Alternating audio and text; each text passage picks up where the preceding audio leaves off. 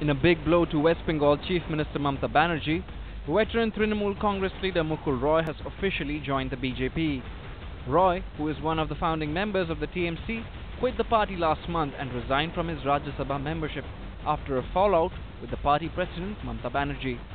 Sources claim that he had questioned Mamata's nephew Abhishek over money laundering allegations that irked Mamata to no extent. दो बंगाल में जो चल रहा है उसका एगेंस्ट पे खड़ा होने के लिए भाजपा छड़क के कोई दौर नहीं है। तो इसलिए हम भाजपा के जाने के सिद्धांत दिया।